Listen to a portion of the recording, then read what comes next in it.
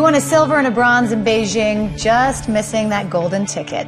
At the age of 26, Jonathan Horton knows that this summer in London may be his last shot to raise the bar. There's no no way to describe how bad I want to win a gold. This time around, I just know what to expect. I think in Beijing, I was just happy to be a part of the team.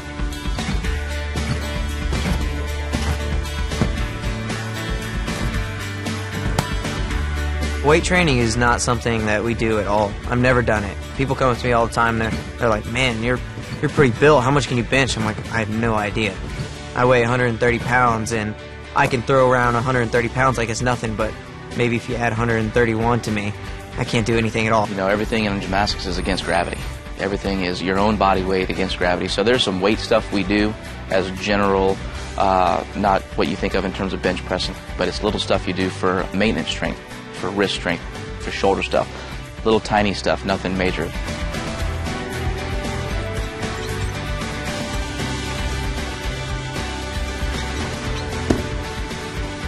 Our bodies are built for each piece of equipment, and you don't want to add any extra bulk.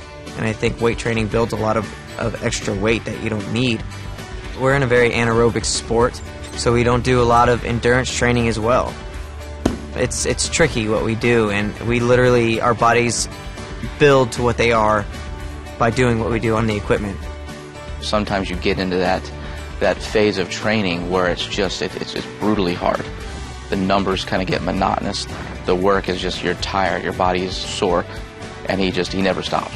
He never never gives up. He continues grinding through every workout, every event, every bit of strength. Throwing skills, chunking new things I've never done before. It's it's one of the things that I love about the sport. I haven't done it in a while, but I'll just jump up on high bar and try as many dismounts into the pit as I possibly can. I might land on my head, but I know I'm going to be okay. It keeps the sport fun. It keeps me entertained by what I do.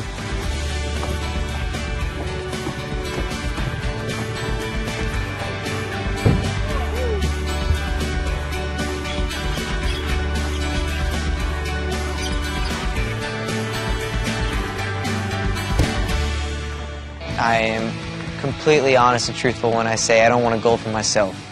I want a go for the team. You you go up there and you do it as a, as a collective group is so much more satisfying. I mean, you look around and you just see the faces and just know that wow, this is this was a team effort. We did this together. It's it's incredible, and that's that's my dream. I want to win a gold medal and see the flag go up, hear the national anthem, and just know that I did it with with my brother standing next to me.